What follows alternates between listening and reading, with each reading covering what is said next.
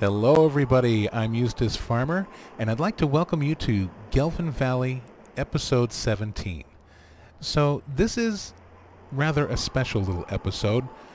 It's been brought to my attention a while back by one of my valued subscribers, Summer Raven. So, thank you very much, Summer Raven, that there's a subtle change that happens at night in Gelvin Valley. And that's according to the map author himself, Wild Wild Wez, that when the sun goes down, something in the valley changes. So I've done a little digging into this, and I think I've come up with an answer. So let's go ahead and get started, and we'll get over to the first point of interest. Okay, so here we are at the first point. So I want you to pay close special attention to the sheep in front of you. I'm going to go ahead and speed up time.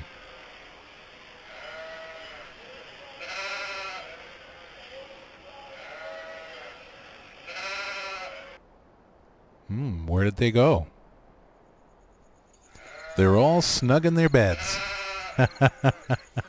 so the sheep, they go inside their little pen at night. So let's go ahead and go over to our second point of interest. Okay, so here we are over at AAA Stables, not too far from the uh, sheep farm. So, uh, and that's really cool that he matches the sign there. It's like he's showing off.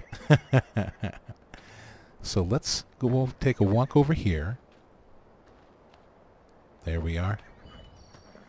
Okay, so pay attention to the horses now.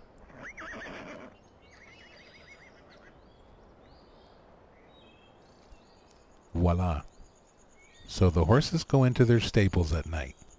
Now, there is one thing about this particular one that I have seen, and I'll show you.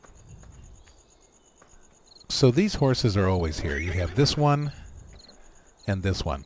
But there are some empty stables. So when the horses go in at night, um, they don't appear in the empty stables. So this is a um, straw sale point.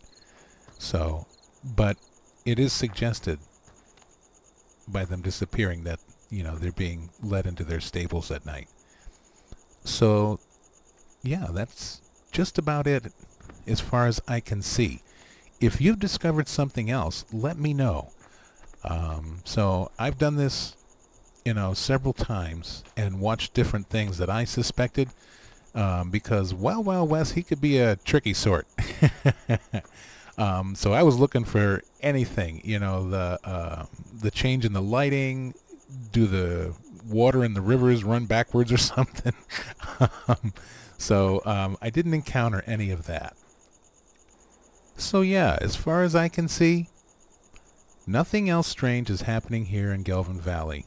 Pretty much business as usual, normal as normal can be, and uh, it's an average daily routine to see the animals uh, go into their pens at night.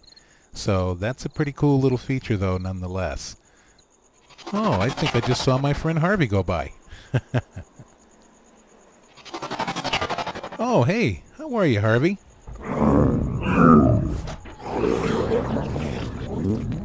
Yeah, I guess we can do that. That sounds like a great idea.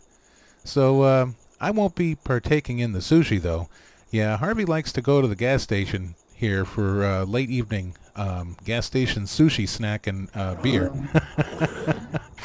so uh, yeah, well, I guess I'll go down there with Harvey.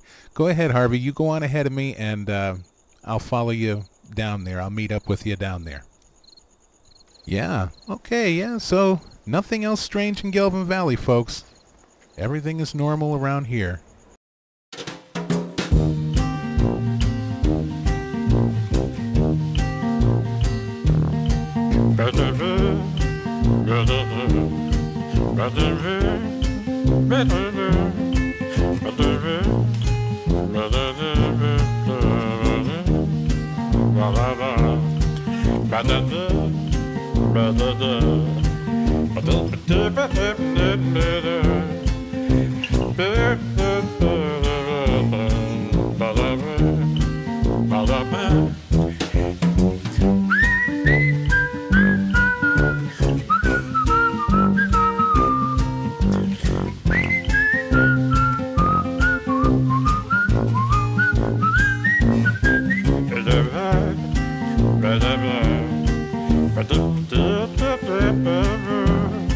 All right, so here we are at the gas station. I'm just waiting on Harvey here. Oh, there he is. Hey, Harvey. You know, Harvey, I gotta tell you, you really need to start wearing pants. You know, that's maybe acceptable where you come from, but around here, these parts, we cover our parts. So, uh, why don't you join me in saying goodbye to everybody, Harvey? And please, for goodness sakes, don't bow. All right, folks. Well, I hope you enjoyed this little episode. And wherever in the world that you call home, I hope you're having a great morning, afternoon, or evening. And until we meet again, take good care of yourself. And bye-bye for now.